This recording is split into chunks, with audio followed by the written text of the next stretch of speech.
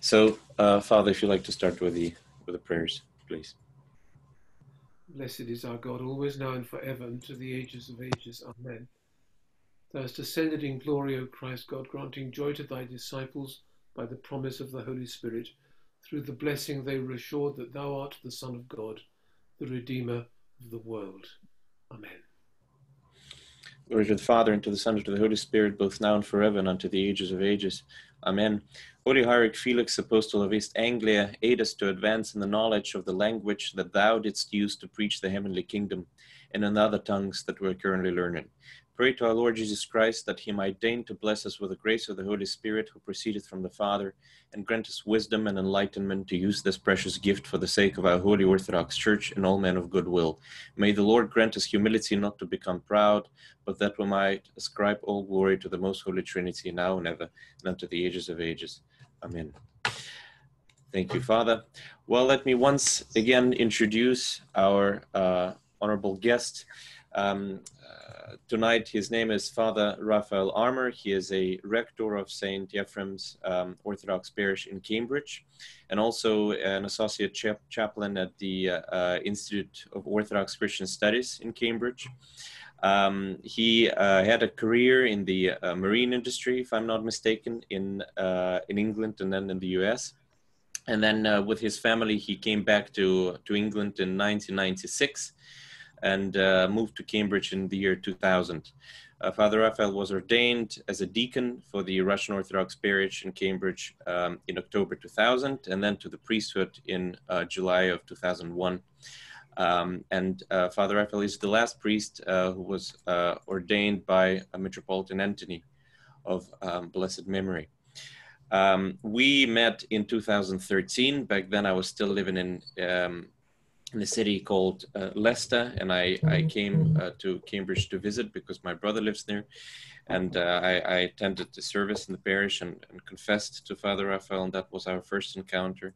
And then when I moved to Cambridge uh, later on that year in 2013, um, I began to, uh, with the blessing of Father Raphael, I began to serve um, as an altar, well, help as an altar server um, uh, in that church and uh, Father Raphael became uh, my uh, spiritual father, and I'm still honored and blessed to to view him as my spiritual father to this day. Um, so it is wonderful that uh, I we have a chance to uh, to talk to him and uh, listen to to his words of wisdom.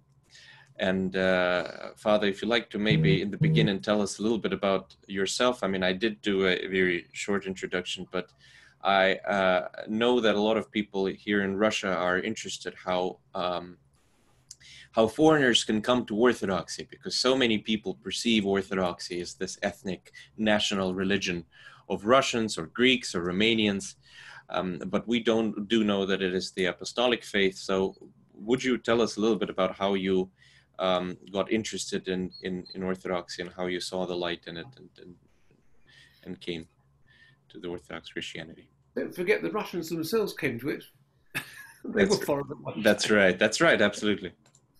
Um, I was born in this country. In fact, I was born about 30 kilometers from where I live now. Um, having gone halfway around the world, I end up back where I started. Um, my wife and I had had some interest in Orthodoxy before we met, um, particularly my wife when in, in 1976 we went on an Anglican pilgrimage to a, a village called Walsingham in Norfolk, about 100 kilometres or so from Cambridge. And I knew that in that village there was the old railway station had been um, converted into a Russian Orthodox chapel. I'd seen this in a newspaper, and I just wanted to see what it was like. So we it was a horrible wet Saturday afternoon. It's only England can produce. And um, we walked up this hill. We could see this cupola on this, what was clearly a, a Great Eastern Railway station, and went in. And I can only describe it as, for me, at that one time, walking into the presence of God. There was a whole sort of whoosh effect. Somehow. That's the only way I can describe it. Um, it's never happened again. I've served liturgy there several times, but going into that building on that one occasion was, was that. And that's nothing you can build um, much on, I think. Um, yes, you can refer it to as a, as a something that perhaps pushes you or even kick-starts your journey. Um, but it was over the next six years that we, we I was transferred to New York with my job. Um, the uh, Anglican Church, the Episcopal Church in the United States, was absolutely dreadful at that point for, for various reasons. And we found that we lived about five miles from St. Vladimir's Orthodox Seminary. Um, and we used to go there on Saturday evenings for the vigil. And that's when we became much more in contact. And over the next few years, four years, um, we ended up feeling more Orthodox and Anglican. And so we asked to be received into the church. And we were received into the church indeed on Christmas Day 1982, which doesn't seem very long ago to me, but sounds like something out of ancient history to most of you, judging by your ages.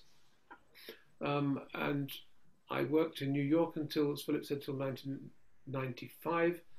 Um, I was made redundant. My job finished at that point, and we didn't know what we'd do. We came back to England, and we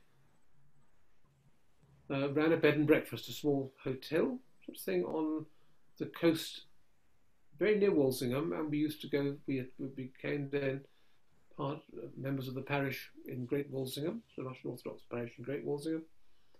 And it was while we were there doing that that I wondered whether I don't know why, but something just over a few weeks came to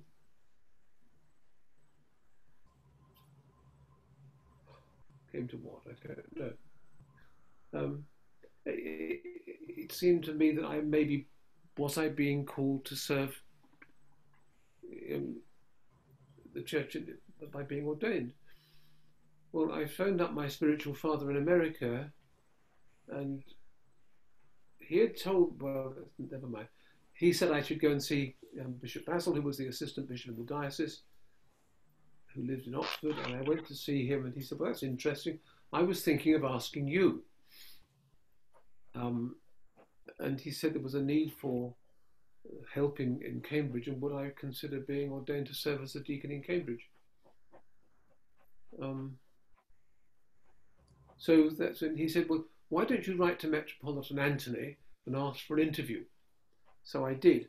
What I didn't know at that point, but Bishop Basil must have done, was that Metropolitan Antony not only never answered letters, he never even opened the envelopes when the letters arrived.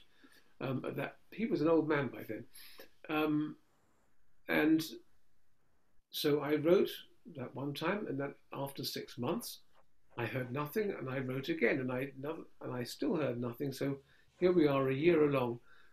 That was a very useful thing, actually, not to have an answer, because one day you feel confident about it, the next day you don't, and over a year or more, things tend to settle and you decide, is this what I want to do or not? And it was. I felt that's what I ought to be doing. And then at the Diocesan Conference in May, about this time in the year 2000, I was walking down a corridor after the liturgy, um, and Metropolitan Anthony was walking along on the arm of somebody, and as, he, as I walked past him, he reached out and grabbed my arm, and he was very frail by this time, but he had a vice like grip. And he said, Bring your wife and meet me in the dining hall at four o'clock. We're going to have some tea together. People keep telling me I should be ordaining you to serve as a deacon in Cambridge.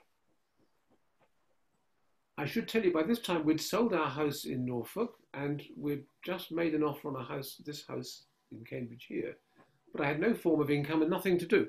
So um, when we met him, he said, Well, have you sold your house? And I said, Yes. And he said, Well, um, what about, have you got bought a house in Cambridge? And I said, Yes, just made an offer on one. And all being well, we should move at the end, move to Cambridge at the end of July. Well, that's good. He said, Well, when you've settled in, let me know and we'll ordain you. And I thought, Well, is that it? Apparently it was. And then uh, for various reasons, I was I was asked then to be become second priest, be ordained as second priest in Cambridge in, as Philip said, in July 2001. And that was what happened. Mm-hmm. So, how, how well did you know Metropolitan Anthony? I'd met him first in in 1975. We'd come across him at a he was a, he was speaking at a, a, a, conference or meeting of some sort in the village where we lived.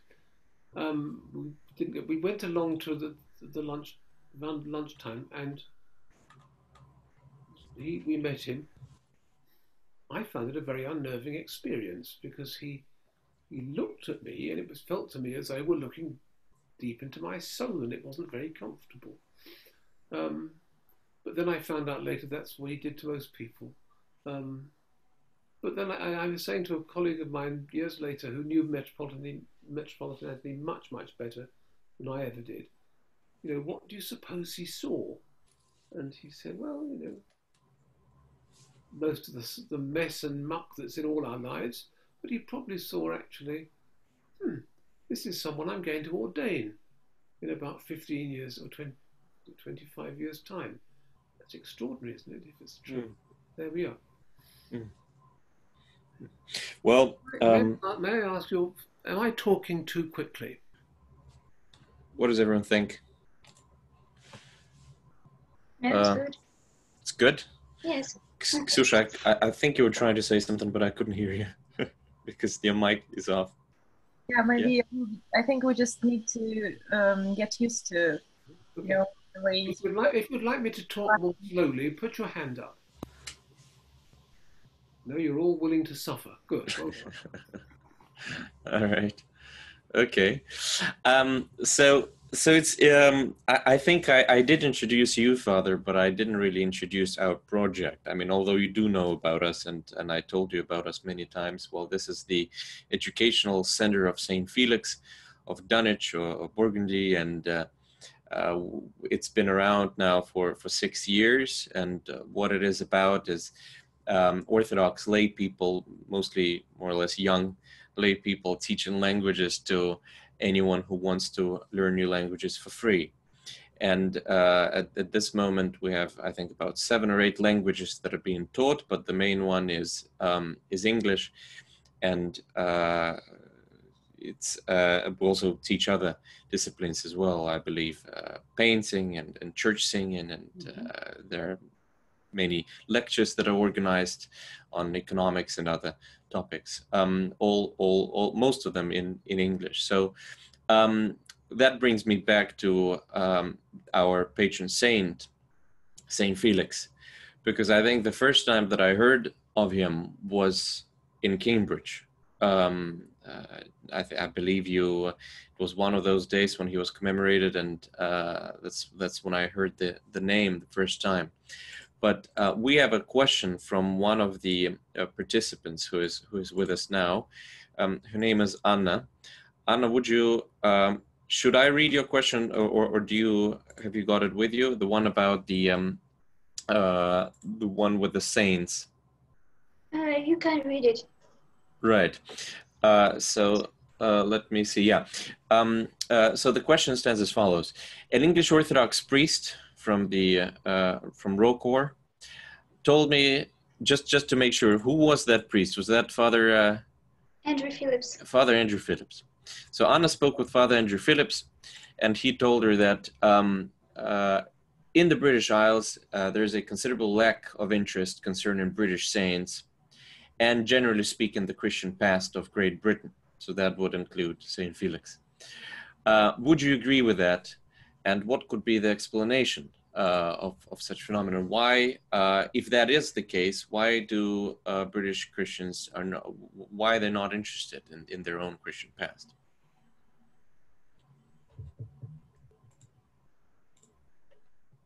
If you're talking about Christians in general, mm-hmm. rather than just Orthodox Christians, Christians in general. Hmm. Well, I think that's quite easily explained by the the great rift that occurred during the Reformation, when saints no longer, after which the saints no longer mattered to most people. Um, and if you ask most people in this country, what do you know about St. Felix? They'd say, who? Um, they'd never have heard of him. Um, I, Philip, actually, where you where you heard it from first time, Philip, was that whenever I do the blessing at the end of the services, I always include St. Felix and St. Fursey, hmm Yeah. the enlighteners of the East Angles, among the commemorations.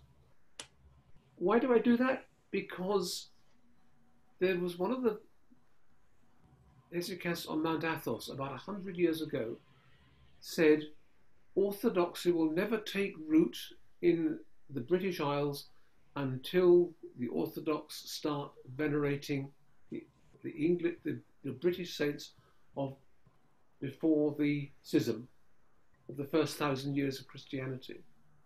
So I think it's important that we do that.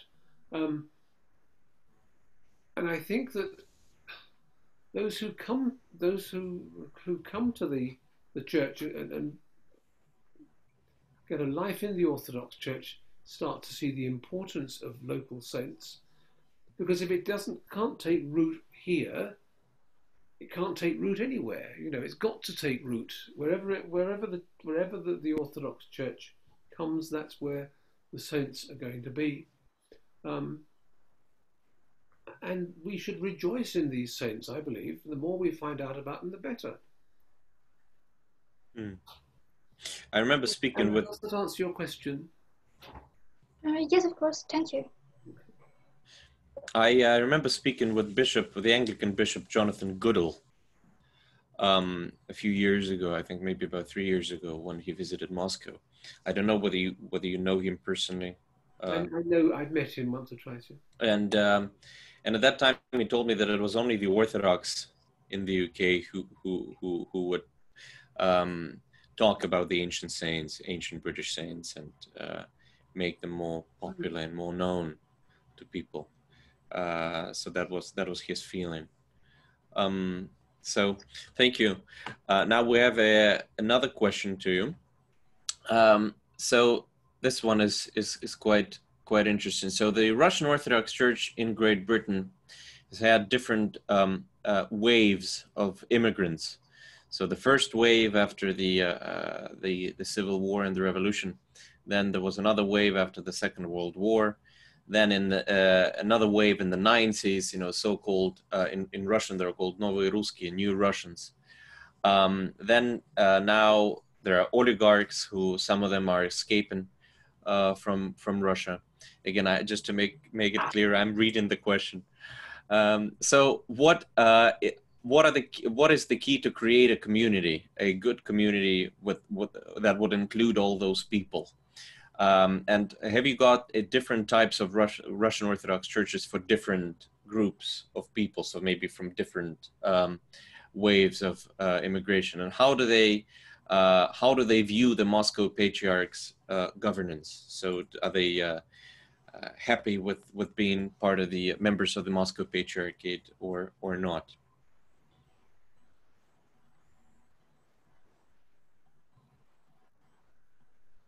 I would all, all the everything I've absorbed has been from the Russian Church, and I wouldn't want to deny a single thing of it. But I think when we get into the West, into this country, you need to know that there are virtually every Orthodox jurisdiction you could possibly find is here. So we have the Ecumenical Patriarchate, which is probably the largest grouping. Without, it is the largest grouping, without doubt. Um, there's the, the Moscow Patriarchate. There's ROCOR. There's, which of course was separate, was still separate administratively. Um, there's the Antioch, the Patriarchate of Antioch. The Romanian Patriarchate is very strong now. That's the, probably the most thriving group in the whole country. Um,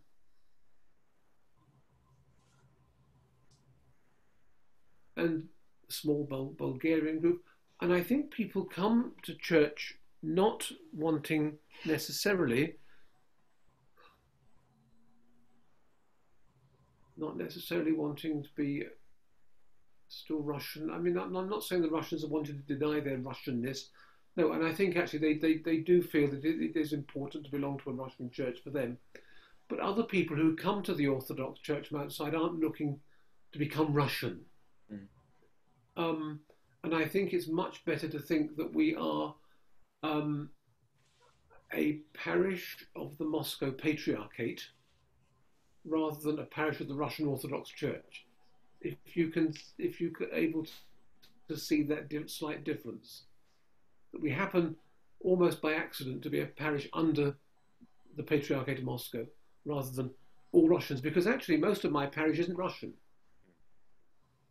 I've got Romanians and Greeks come, um, Bulgarians, um, and of course a, a couple of Germans, uh, people. My wife's American.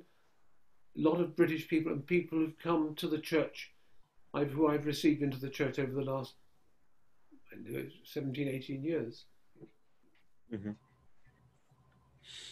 So, and, and, and all those people feel included. Well, I mean, certainly I can speak from my own experience at, at your parish. And what I find uh-huh. the nicest thing is that when we get Russian students coming to the university here, uh-huh. and they come to the church and they think it's wonderful. But it's just like being in Moscow, only it's in English. Well, if everybody feels at home, I'm happy. You know? um, and I, I try to make people feel welcome, you know, to, to make sure that when they walk, the trouble is there's a difference. In, in obviously in Orthodoxy, often there's a situation with not wanting to, you need to give people space if they're coming to the church so they don't necessarily feel that you've got to go over and shake their hand when, as soon as you, you see them. Um, but you need to, they need to know that there will be a friendly welcome for them if they wanted it. And I think it's important that we don't just have parish structures, that the church is there and you come if you want to and so on, but actually what we're trying to do, and we should do, is trying to build communities centered on the Eucharist. Um, we, yeah, we all started off under Metropolitan Antony. The, when when groups of people wanted to form a an embryo parish, if you will, they were referred to Eucharistic communities. Now I see. Now we have parishes in Russia, and Patriarch Kirill is saying we should now become try strive to become Eucharistic communities, make these parishes Eucharistic communities. Um, and I think it's important for, to encourage people to get a life in the church. You know, not just come to church, put your money in the box and take a couple of candles. Um, once in a while, come to confession and Holy Communion, but build this whole thing into your life. Say your prayers at home. Come to the church every Sunday. Try and strive in your life never to forget God. Light your candles. Come to confession regularly. Come to the Eucharist regularly. And at the moment, we we can't do that. Mm-hmm. We've got lockdown. You've got lockdown, and we've been locked down for ten weeks. And suddenly last week, people were getting in touch with me, saying, "Father, something's got. To, I haven't been able to confess or receive the body and blood of Christ for ten weeks. What can we do?" And I've now surreptitiously had people coming round the back of my house into the into the patio and um, receiving their confessions there and giving them Holy Communion. Mm-hmm. And I think we have to be.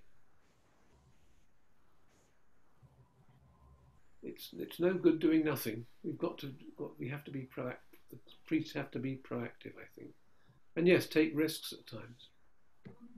Hmm. And you know, going back to the um, going back to the original question, um, how one makes people welcomed. You uh, you find it very important to make new people welcome uh, at, at at your parish. I, I mean, I remember myself one of the few, first few times that I um, started that I began to attend uh, services. I think you uh, you spoke to me yourself, and then you invited me tea to your house uh, the following week um, and then we had a nice conversation. And then remember what what was that website? Um, Secret Worshipper, Anonymous Worshipper. Oh yes, there's a there's a, a website called the Ship of Fools, um, and it's a very it has quite an amusing, somewhat cynical view of Christian churches in general. But they have in this a, a column every every month, or perhaps more than that, called the Secret Worshipper. And the Secret Worshipper came to St Ephraim's once in, uh, on Forgiveness Sun, Vespers of Forgiveness Sunday. Gosh, I can't think how long ago now. Maybe I don't know, 2005, something like that. I should think. hmm It's still on the website, I think, on their, website, I think. It, it is. So the idea is that they, they attend services at different various churches anonymously and then report on, on, on their experiences um, and then post post uh, post those experiences on, on the website. Um, and I think that was a very positive review, as far as I remember, from that gentleman. And that young man actually ended up going to America and becoming Orthodox. Oh well, you see, that's that's wonderful. Uh, okay, let's. Uh, by the way, those of you who want to ask Father Raphael a question, please do. I mean, that's that's the point. Um, I, I want Father Father to, to to Raphael to get to know you also. So if you want to ask him a question, use that lovely hand um, button. You know you know how to use it, I believe. Um, so please. And then i will i will see it and and you'll be able to ask to ask the question. Meanwhile let's um let's let's ask another one that i have here in the list. Um so which what would be the first patristic text you will recommend to a person who just joined the orthodox church? And uh, in general what literature would you recommend to people uh, that you yourself find spiritually beneficial? 40 years ago, more than that now, isn't it? 50 years ago, there was virtually nothing in this country available about Orthodoxy in English. Maybe, I should think, perhaps eight or ten books in total. Now there's a lot, huge amount, particularly published in America. And so we get lots of books available from St. Vladimir's Seminary. Um, new a whole series of St. Vladimir's does of patristic texts. I think must be 50 or 60 books now of, of patristic texts they put out. There are also books from Holy Trinity Monastery in Jordanville, which is the Rocor monastery. Um, what would I recommend? Something nice and easy, but something you can keep reading over and over. And that's to me is the 38 sayings of St. Anthony. Mhm. So let me put it I in chat I just think they're absolute gems. You can read these, and none of them's very long, and you've got to let it sink in, and um, and, and, just mull it over, and, and then when you've read through these thirty-eight sayings, start to read them again. But I think that's true of any any um, thing we're going to read. I mean, the patristic texts are not always easy. I think probably also um, on the Incarnation by St Athanasius is is a good good book to read quite early on. It's quite simply written, um, and I think though that we we need to read good books slowly. Um, don't feel you, you buy a book and you've got to read like the whole of the Philokalia in one sitting. You know, no, you can't. Then you go mad. So just get something that you can read, maybe even read half a page a day, and let it sink in. what about elder elder silouan what what what do you think Similar this similar Mount Athos. Um, yeah, yes. People, people are much taken by St. Silouan. It, it, do they know St. Silouan in Russia very well? Uh, w- um, well, I mean, they do know him. Uh, do they know him very well? What What do you guys think? Uh, Saint Silouan the Athonite. Is he is he very much known in Russia? I think so. I think so. Yes. Not. I actually learned about him in the UK, so uh, I Well wasn't then, yeah motivated to read this book before. And then there are, of course, books by Father Sophrony, who was a disciple of um, St. Silouan, and who himself has now been uh, glorified by the Patriarchate of Constantinople. Um, I have to be honest, I don't find Father Sophrony's books very easy to cope with. Um, but that's all right. hmm Some Mhm. books speak to you and some don't, I think, and that's you have to accept that. So if you pick up a book and it doesn't mean very much to you, don't worry, leave it and come back 20 years later. It's all right. You may, may, may have better, better luck with it. hmm Um, Ivan, I believe you had a well. There's there's one. Uh, there's a comment in chat. Uh, Ksyusha Ksenia Yosefovich wrote that as for the larger Orthodox community in the UK, well, Ksyusha, would you like to ask it yourself? Just ask it yourself the question, please. Yeah, so um, I think, as I noticed, there are a lot of different parishes in the UK, but there is no really any communication between them. And um, there are many families, and I think they struggle um, to find a good school for their children to go to. Uh, but um, there is, you know, Orthodoxy is a minority in the UK, but maybe if we had better uh, relationship between parishes, then uh, it would be possible to organize some like five weeks a day schools, state schools, like with um, I don't know, like Orthodox schools. Is it possible in the nearest future, in your opinion? I think I think that's very problematic because the, the parishes in this country, although they and in this in this town in this city we have the Russian parish, we have a Greek parish, and we have a Romanian parish. Um, we maintain cordial relations still with with our Greek friends, um, despite the difficulties that have been in the last eighteen months. Um, and longer. Um, but we're we're small in numbers, you know. So even if you put all the the three parishes together, I doubt there'd be enough children. If everybody wanted to send them to an Orthodox school, there would, I doubt there'd be enough children to run one or to to, to, be in one. Um, but also those the parishes draw people from quite a large distance you know, so there's a we've got a our parishes are here in Cambridge. The next parish, Russian Orthodox parish to us here, is in Peterborough, which is about sixty kilometres, seventy kilometres north of here. Actually, I started the services there, and then the next one is to the east is Kings Lynn. That's again that's about similar seventy kilometres away. But there aren't many children there, and so people come from quite a, a, a, large distance to come to the services. Yes, there are people who live in the town, and that's, that's obviously very good, but it would be difficult to organise schools, I think. Thank you. Thank you. Could you maybe tell us a little bit about your relationship with the, you know, with other Christians in the UK also? Because, uh, um, for instance, the church that you're using now, the church building that you're using now, it's it's an Anglican church, right? And then before it used to, you used to uh, um, uh, use the um, um, Westcott Chapel, which is an Anglican Anglican chapel.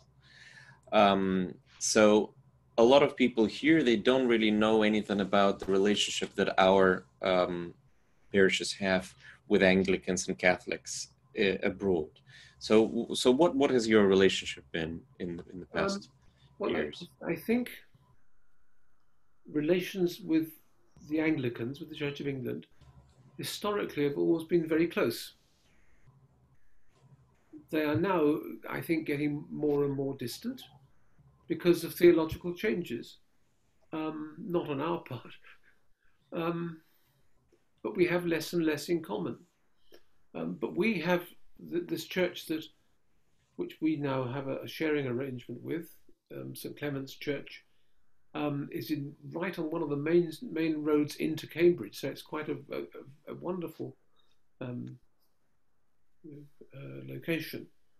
It's a rather elderly congregation, but they are very traditional, uh, traditional Anglicans.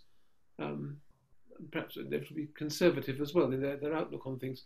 And when we went to see them to discuss the possibility of, a, of sharing their building, I made clear that what we were looking for was a place to be a house of prayer and worship for us, not to be a, a concert hall or an art gallery or anything like this. And the older people there who came to this meeting, their eyes lit up because they felt more sympathy with more in line with what I was saying than with their own priest in charge. um, but we, we, we've we've been at this church now for this building for um, a year and a half, and it's been very successful.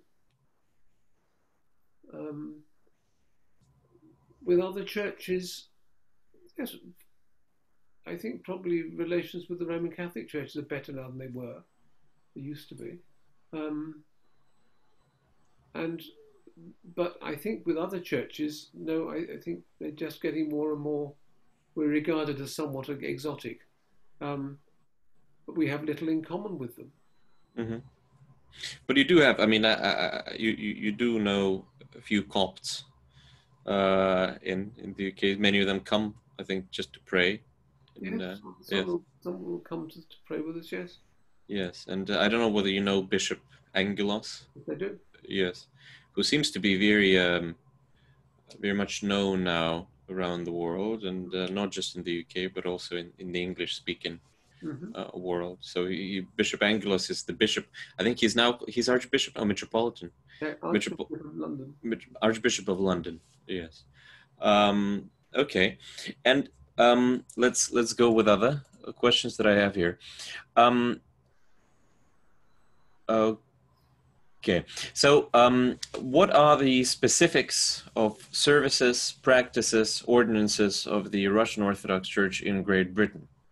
Um, and what kind of is there anything special that the Russian Orthodox Church in Great Britain, or the Sourozh diocese, the, uh, is there anything special that it would provide to the big Russian Orthodox Church family? So this is the question.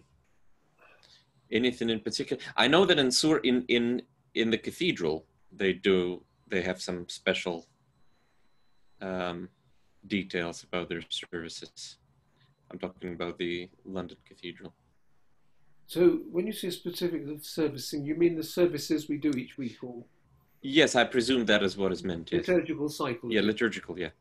Well, we, we follow the liturgical cycle of the Russian Orthodox Church. I must say that some people find it rather odd that we uh, serve on the new calendar. That's something I yes. inherited. Um, the previous bishop, Archbishop Yelisei, didn't much like that. Um, he was forever pushing me to change back to the old calendar, and it wouldn't. I would be quite happy to do so. I became more concerned about the, the people, what effect it would have on the parish, the people, because not again, not everybody is Russian, and people who've come to the church have come to the church as the Orthodox Church, uh, worshipping on the serving on the new calendar. Um, and the last thing I want to do is to produce a rift in the parish and I had we raised it once at a parish meeting, and a, a lady phoned me up that evening, a, one of our loveliest ladies, Russian woman from Lithuania, and she said, "Father, I have grown up using always using the old calendar." She said, "I know we've served you serve on the new calendar." She said, "There's something special in this parish, and we mustn't lose it." So I'm very happy that we stay on the new calendar. Mm-hmm. And I thought, well, that's a a remarkable thing for anybody to say. And I asked our new bishop, Bishop Matthew, two years ago when he became bishop, and um, would he wish us to, to move back to the old calendar? And he said, No, I think for the sake of the parish, you should stay where you are. So I do as I'm told. Mm-hmm. So, for instance, the um, services for the Nativity of the Lord, you would have them on the 25th Yes, well, everybody serves on the 25th of December, Christmas Day. It's just you just have that, that, That's right, yeah. But, uh, yeah, but uh, calculation uh, for it.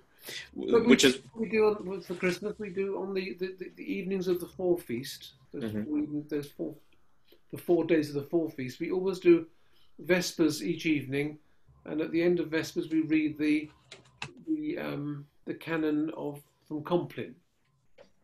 Uh, we don't we pick and choose a little bit, I suppose. Um, and that seems to work for people. And that's a time when people then can come to that service, and then some of them will come to confession afterwards, rather than everybody coming wanting to come to confession on Christmas Eve. So that's hopeless, you know, on the 24th. Mm-hmm. Um, and so that's so we, we do those four evenings. We do on the, the morning of Christmas Eve, we do the Vesperal Liturgy.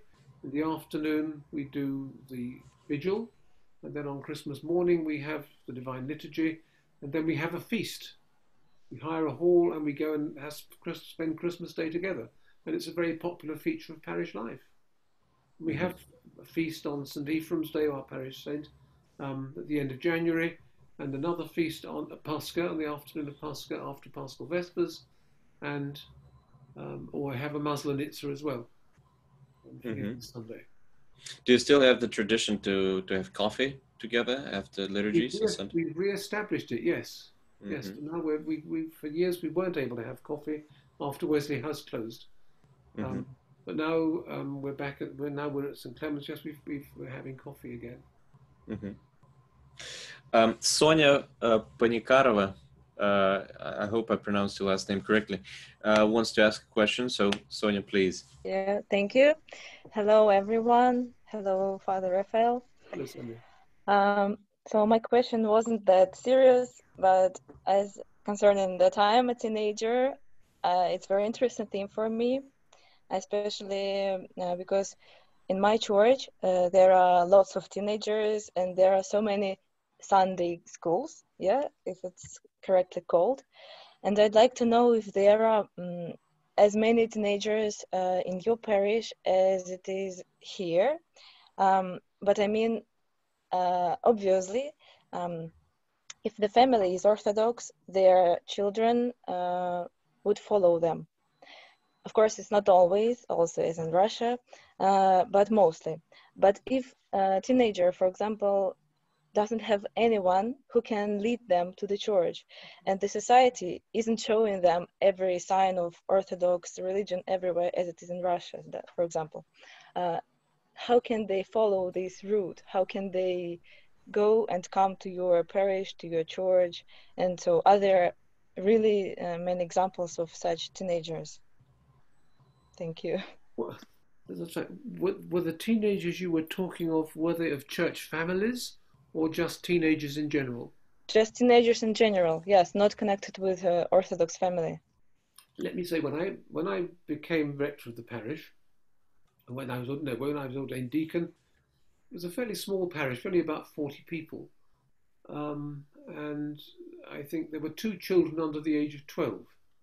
Now on a Sunday we are about 110, uh, 120 sometimes, and probably 20% of the the parish are under the age of eight. So we've got a lot of young children, but we haven't got.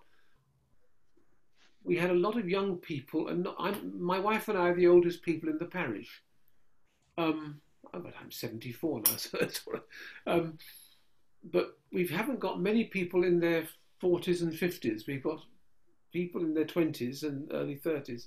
So it's all, so they've got young children, but we've got maybe, I don't know, only five or six teenagers per se. And how do secularized English teenagers find the church?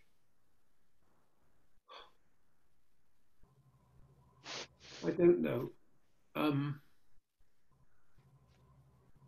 I, you, I could say, well, if God wants them there, they'll they'll find their way, and that's true.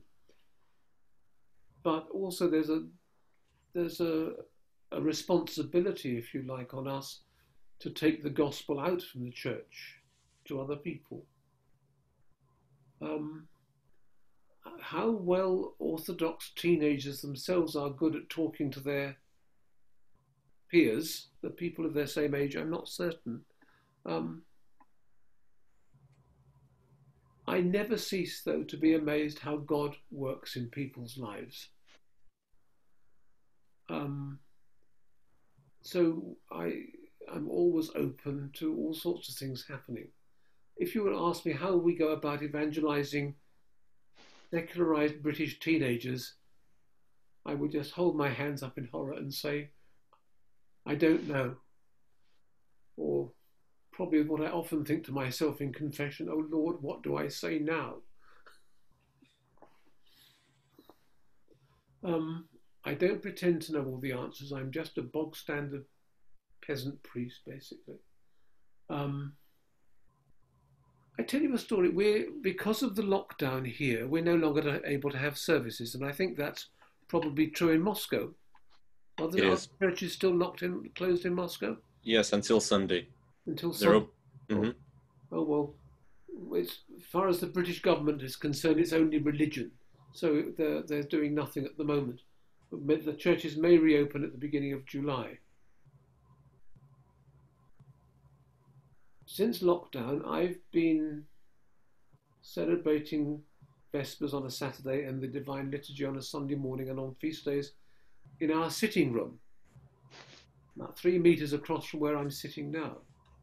It's on a little table with a couple of candles, lamps on, and icons, gospel. It's a small table, and we set it up with the, with the antimension and so forth. And I serve it here, and all that people see is just me, my my face, and while I'm celebrating the service. On the week before Palm Sunday, the, the entry of the Lord into Jerusalem, a young man contacted Cosmin, who is my Zoom specialist, as I call him. Cosmin has organised all this, and said, "I'm not Orthodox, but I'm in reading about Orthodoxy, and I just want. I've never been to a service. Could I join your liturgy on Zoom next Sunday morning?" And Cosmin said, "Well, of course you can. Here's here are all the details." And he told me, and I sent I sent this young man an email saying, "Look, it's lovely. Of course, you're very welcome to join us. If you have any questions afterwards, just give me a you know give me an email and we can chat on the telephone or something about that." So, anyway, on Palm Sunday afternoon, he he was apparently at the liturgy, zooming in on the liturgy, and on Sunday afternoon he sent me an email saying, "I have never been to an Orthodox service before." I was at your liturgy this morning and I found it profoundly moving. And I thought, how can you? There's nothing there. You know, we've got no iconostasis, we've got no icons, no candles. You've got no choir apart from my wife and myself. And you see nothing that you would normally associate with church apart from my ugly face. Um, but he found that moving. We we spoke the next day, and ever since we've been meeting on Zoom every Saturday morning, and he wants to be baptized. Now, what do you say apart from glory to God? You know, it's just the way God. uh, If God and if God can work with a 26-year-old, I assume he's about 26 year old man, he can certainly work with teenagers as well. So maybe you must pray for us. Thank you. Thank Uh, you. So, uh, if anyone else wants to ask a question, or should I just read one of uh, my questions on the list? Okay, so this is this is a question from Lucia. Lucia, I believe, is is here with us now. Uh, yeah, she. I think she is. So the question is, um, who uh, we, who were who were those people who inspired you the most, or who perhaps are still inspiring you to this day? And so that's the first. Uh, well, perhaps you have such people at your parish. Um, and the second question is, which saints do you seem to venerate the most? Um,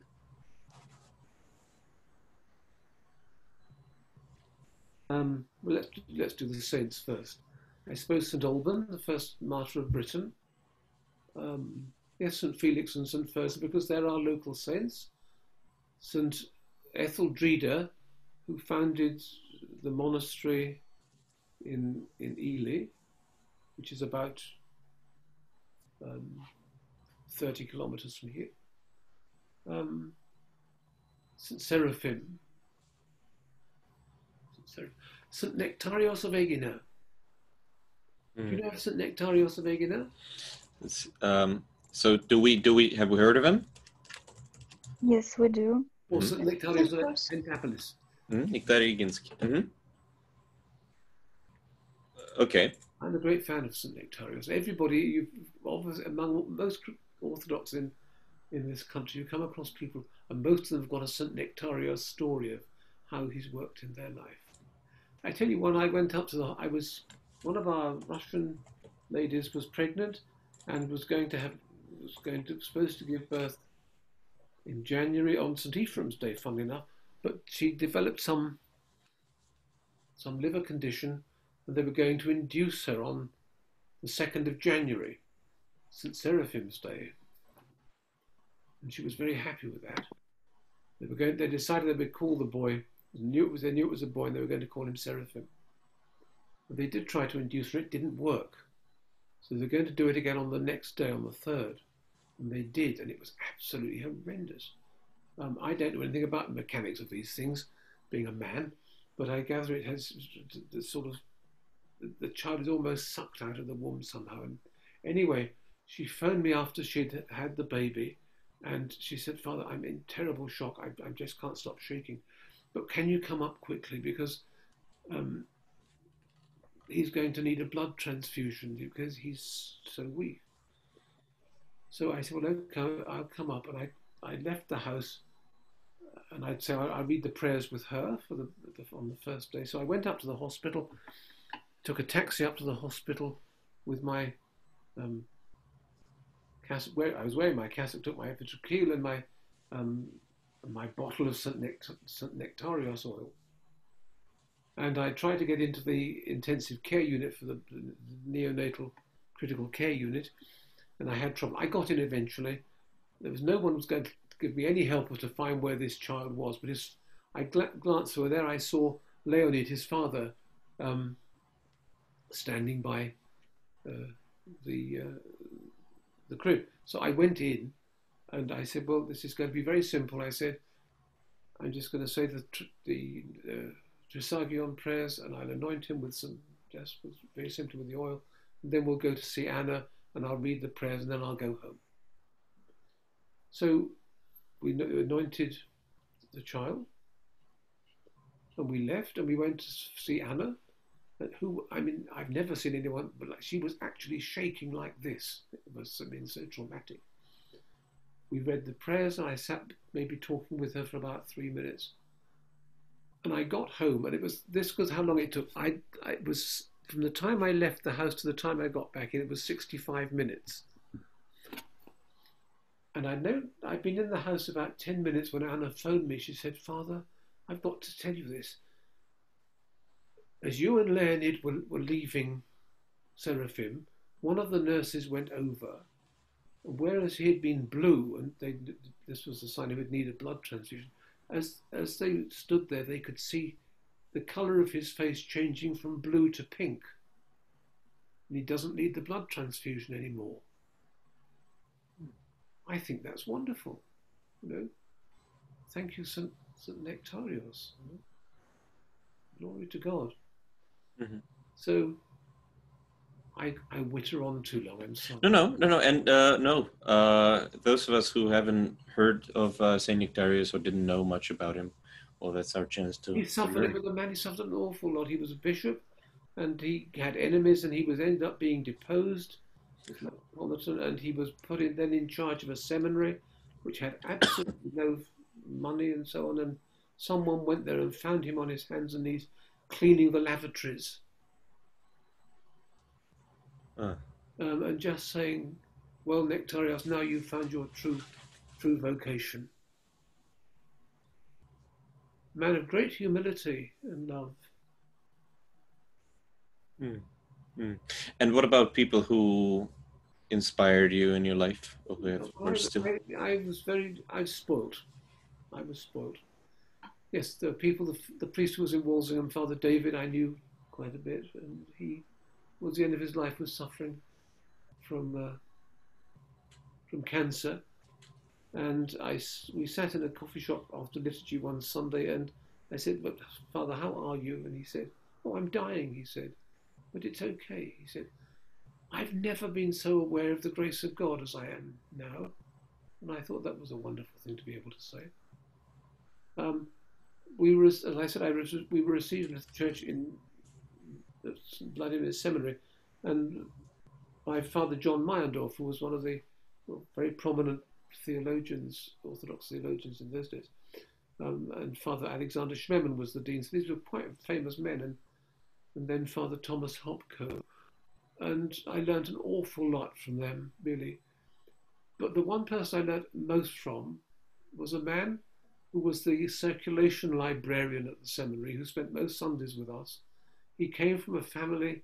His father would had worked in steel mills and had helped found three parishes in the time when St. Tikhon was the bishop in North America. Mm. And Stephen would tell us of his family, how they used to go to church. They would walk um, seven, six or seven kilometres to Vespers on a Saturday afternoon, and then six or seven kilometres home again. And on Sunday morning, back to the church, another six or seven kilometres for, for matins, um, liturgy, and then everybody would stay for lunch. And then there was a whole education program for the whole parish, then a cup of tea and something, a piece of cake or something, I suppose. And then Vespers, and then everybody would walk home. And that was their Sunday, you know, and that's how, how the com- parishes, people stayed together as parishes. It really was the Lord's day. Um, but he was a, such a simple man, and he knew he'd known virtually everybody. He knew Father George Florovsky. He was a student of Father George Florovsky at St Vladimir's, and he'd been sent by Father George to to meet both Father Alexander Schmemann and Father John Meyendorff and their families when they arrived the, on the on the ships from from from, from Europe to take up their positions at, at the seminary. Um, and but he was such a humble man, and you went to his. He had no very little money. He never had a bank account till he retired, and he had to have a bank account for his pension to be paid in. Um, before that, he'd been given a pay packet every week, I suppose. Um, he was, and in his room, it was just beautifully ordered. There was a his icon table with a, a, a Greek gospel which he read every day, a one volume of the Philokalia, and he reads some part of the Philokalia each day, um, and and and so forth. And, and he would come to us every Sunday and, and really enjoy enjoy being with a family. It was lovely. So I just learned a lot from him, and he stood in the church and was there for every service. And I always say to people, you want to know what's how what the Orthodox Church is about, you've got to be at the services. You've got to listen. You've got to to, to look. You've got to be part of what goes on.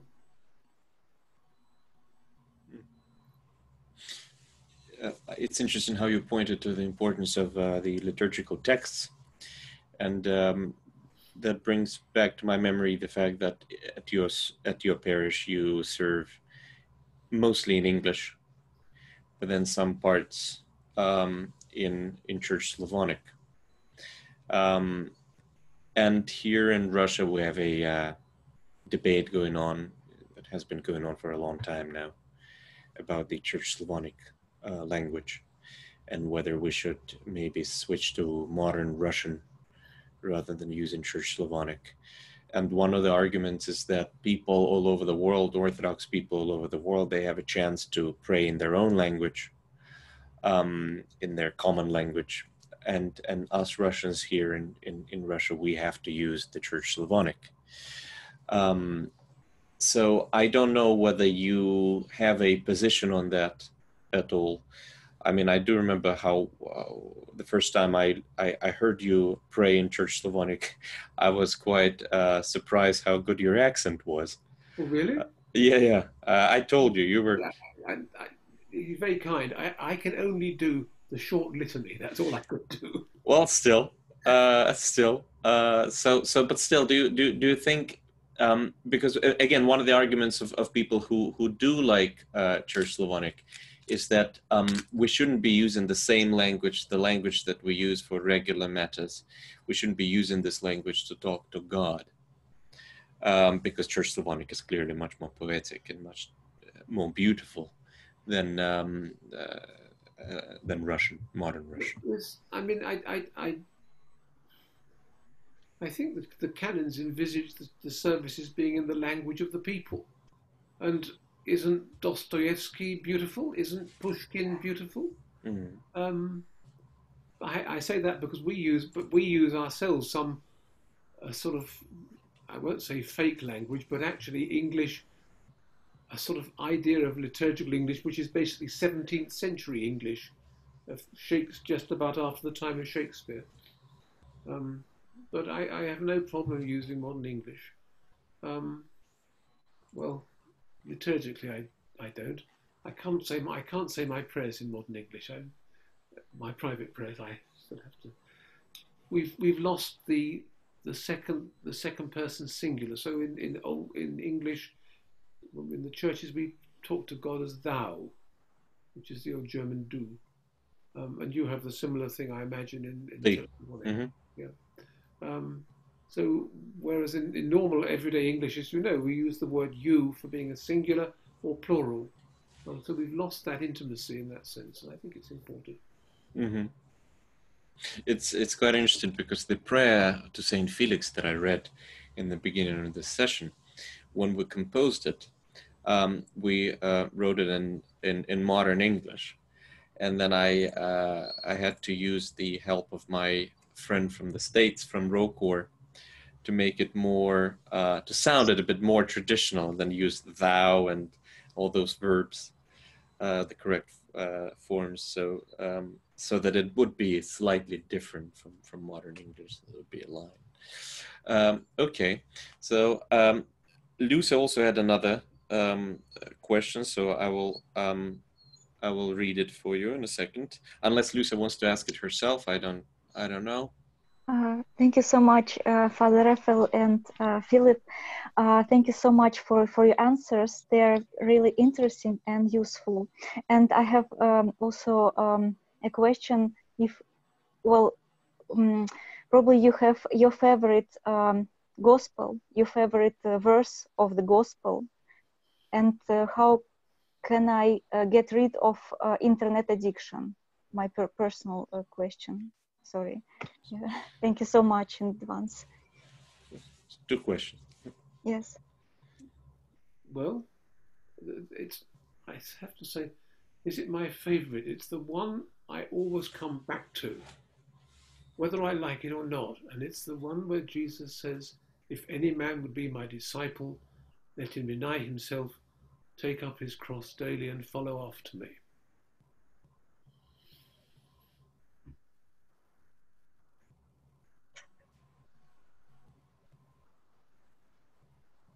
I know I'm not very good at doing it, but I can't get away from it. And every day I have to remind myself, you know, I've got to take up the cross, whatever that, whatever that shape that cross may take, whatever, wherever I've got to take it, and follow Christ. And how do you overcome internet addiction? Smash it. S- get rid of the machine. And you can't because you need it for email because we just we can't get away from these machines. Um,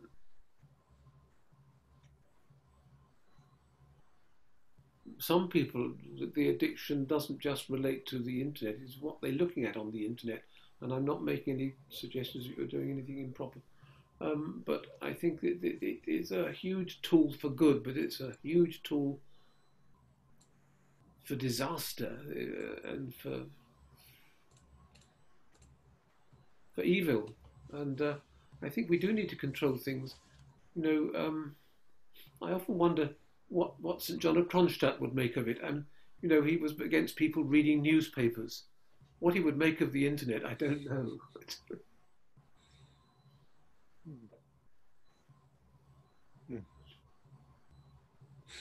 you know, you, you, you, we, we do have the choice. We, we always have a choice.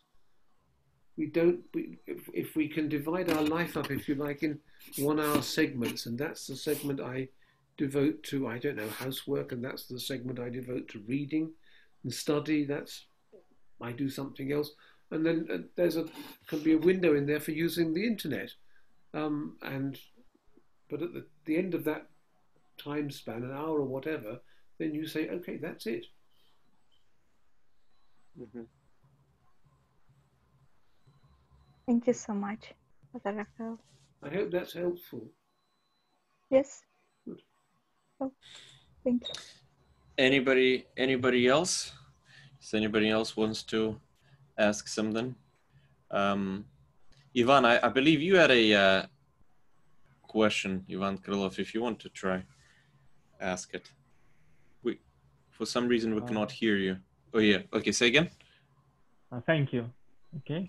Yeah, Can you fine. hear me? Yes. Yes. Okay. Uh, Father, I would like ask you a question that is important for me personally because I work as a scientist.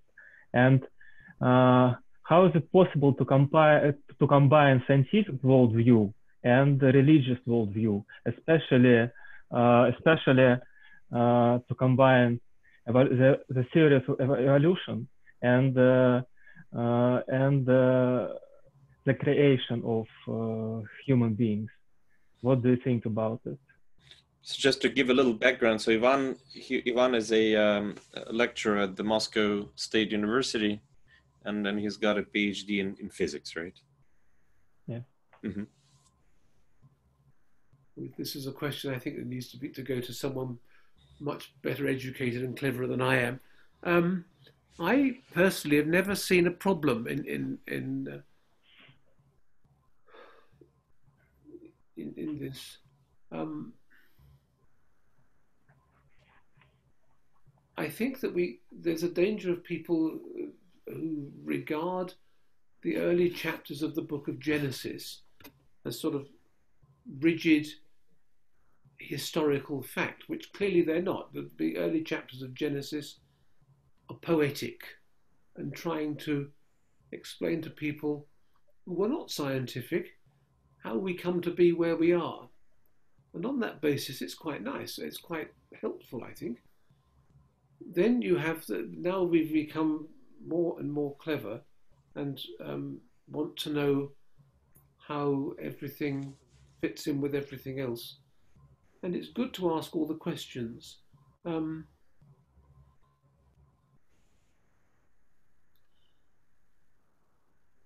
I don't know how you synthesize, and that's what's needed a synthesis, synthesize, synthesize the creation accounts in Genesis with something like Darwinism, though whether one would say that Darwinism, or you, you, you said evolution, yes?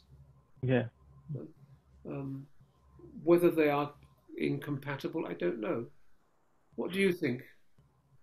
Mm. I, I think that uh, some dogmas of uh, the orthodoxy contradicts uh, the, the evolution because uh, because uh, God didn't create uh, didn't create death by death is, is a part of evolutionary process. So maybe this is the main contradiction for me, and so I, I, I can't combine it in, in my in my mind, and for me it's like uh, a dualism, science and religious, but uh, they don't uh, synthesize. Okay. And does that have an effect on your um, life in the church? I'm assuming you have a life in the church. I'm not. Yeah. Okay. How how do you? How does that work within yourself? Mm. But it, it, it, it, is more uh, it is more theoretical question, but it it uh, it is not about my life in the church, but uh, I, I think about it and I, I try to find answers for, for my for my for myself, but I, I can't I can't find it. Okay. Um, I'm sure there are uh, many uh, people in Moscow better educated than I and who would probably be able to help you more. I'm, I'm not being helped, at all, I'm sure. Mm. Um, but I'm sorry, I can't. I'm not. A, subject I think too much about. It's you know, if I may, I mean, if there's it's such an interesting topic because people have such different Yeah. um, diff- different points of view. I mean, even in in this conversation, we we have um, uh, Vyacheslav, a person called Vyacheslav Mitsuk. We can't see him. nor hear him. I, I, hope he hears us. Uh, he is doing um, he is doing his um, uh, PhD in I think mathematics right now, or also physics. I, I, am sorry, I always tend to confuse it, but uh, but he is a strong um, opponent. He, he, opposes the, the theory of evolution, and he, he believes that it's not compatible with, with orthodoxy at all, with our dogmatic teaching. But then there are you have other people who um, would have different points of view. I remember, I think, speaking with Father Evgeny, um, and uh, Father uh, Evgeny, he also has, I believe, what uh, a PhD in mathematics and I think also physics. Um, um, and he he also doesn't quite like um, the theory of evolution. Father Evgeny uh, sometimes helps Father Raphael um, in in Cambridge. I don't know. Does he still does he still come every now and then, or not really? No, not really. Well, so he used to. He used to help and and, and go serve with him. So, but then again, you have people who who don't see any problems uh, in it, uh, even even dogmatically. So, um, so thank you, Ivan, for this. Thank you for for this question. Well, sorry, I I can't give you a, a, a, an answer. Don't give up. Don't give up thinking about it and talking to, talking to people about it. Mm. Um, anybody else? Does um, uh, Tanya Kashtanova, maybe you want to? You have uh, some questions, so uh, the Larina, or Bajena, or uh, Sveta. Uh, so who would like to go first? Tanya, would you like to go first? Uh, I, I can try, thank you. Please. Um, uh, Father Raphael, you said you mentioned this line um, from the Gospel uh, where when Christ, where Christ says, uh, "Take your cross and follow me."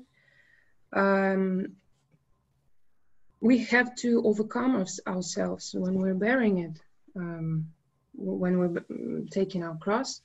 And uh, this time uh, we have so many changes in our lives. Uh, this period was um, isolation, and um, lots of changes are coming and happen uh, with each person uh, in his own life and in life in general. And uh, what do you think? Um, how can we go through this? Uh, what can help us uh, to stand? Uh, talking particularly about this time with the with COVID 19? Um, yes, yes. Um, I think this is where we need to see ourselves as part of a community, not just some church big thing we come to on a Sunday, but something to which I belong, and I and the people, the other people who belong, matter to me when when the church was closed, when the churches were closed, I thought to myself, what do we do? How do I keep this parish together? Um, and I ran it by my starosta, and he was very supportive. And I said, I am going to institute evening prayers online every evening at seven o'clock. We'll all come together. If you want to come together, people come together at seven o'clock and we'll few prayers together for 15 minutes, and that will be it. And it, we're still doing it after 10 weeks. And it was okay. It was okay during Lent because people are used to suffering during Lent. They like sort of suffering during Lent. The trouble is, we don't have a sort of discipline of Pascha, which is what we need to have. And so the numbers dropped off after Pascha, which is okay. We're not doing it to entertain people. We're doing it to pray, to keep the parish together. And so at the end of this, um, there's only all they will see during the, the, prayer time is myself and two readers, and then at the end, Cosmin puts everybody on like this, and everyone can sort of wave to each other and and say hello and and so forth, and it seems to be have been very much appreciated. It's a small thing, but I think it's, and I think these are things that can hold people together because I know how difficult people have found this time. And it is difficult. You know, you feel separated. It is isolating, and it's isolating in the worst way because people can develop all sorts of emotional problems, mental health problems. You know, it's it's really rough. Hmm. I um I think I will uh, ask a question which which which may sound uh, provocative, but um, the Western world is now uh, focused on what is going on in the states. I'm talking about the riots and the protests and um, um, accusations and, and, police brutality. And I know that um, uh, protests uh, took place in England, I believe also yesterday, I think, or before yesterday in London, in support of the uh, um, Black Lives Matter movement. Um, now, doesn't really matter what we think about the uh, the the movement itself, uh, because it's uh, there are many uh, arguments for it and also against it. But um, do you think that um, racism is still a problem in the in the modern world? And do you think that the Orthodox faith and Orthodox Christianity can help people uh, fight it? Uh, because obviously for us as, as, as, believers, we, we, we know that all, all men are uh, were created in the image of God. Therefore, racism just is just not compatible with our faith. Um, so maybe it is us, it is the Christians who can um, offer something to the modern world um, in in this battle against uh, problems that are not so modern but still exist. Um, yeah, I, I, I think that I haven't been following too much about what's been happening with these um, demonstrations in London. Um, I rather feel that it's what I would call, tend to call rent a mob. Um, people who just like to have a bit of demonstration for the sake of having a demonstration. Doesn't matter what we're demonstrating about. Um, it's an absolute tragedy, and I think it's I, I, having lived in the US for 18 years.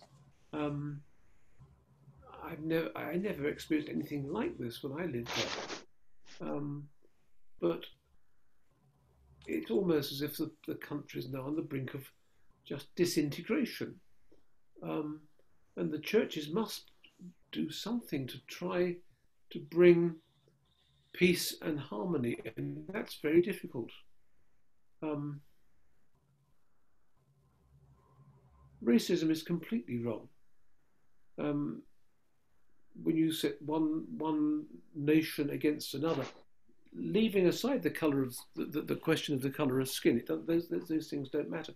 Once you start dividing people up into to groups, social groups or racial groups or, or whatever, that's not that's not in conformity with the will of God. I'm sure of that. How do we bring that sense of reconciliation? Goodness knows. Um, it's all part of taking up the cross, I think, as well. Um, and that taking up the cross affects every area of our life. And I've got to, people have to make, each of us has to make a difference where we are. Where we are. Hmm. St.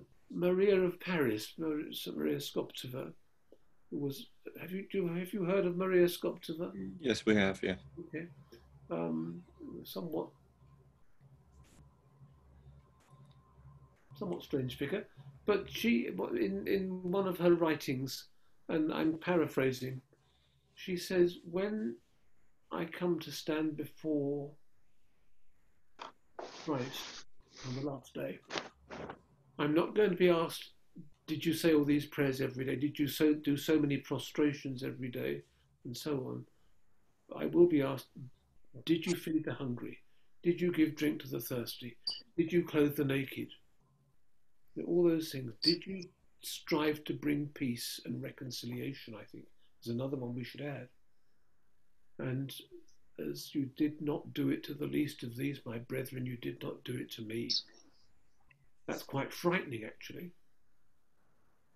But sometimes we do need to be brought up with a jolt. How we go about it, I'm not certain. Thank you. Um, anyone else? We have uh, nine minutes left. There's, someone on the side here. I'm, did you see who wanted to? I'd like to ask a question. He or she. Yeah, that was that was Sonia, and she's already asked one. That was the question about teenagers. Um, okay, so um, uh, we have. So who we've got? We got Ivan Filin, we got uh, Maria Ludmila, uh, Artyom. Perhaps you have a question, or maybe Ksenia, Bajena. So, uh, Okay. huh? Okay, Artyom. No, not yet, thanks. Not yet. All right. Okay. Uh, so uh, one of the questions that I have for you is obviously when are you finally planning to uh, come and visit us in Moscow? Because I remember, I remember in 2017, in 2007, uh, no, no, no, that was 2016.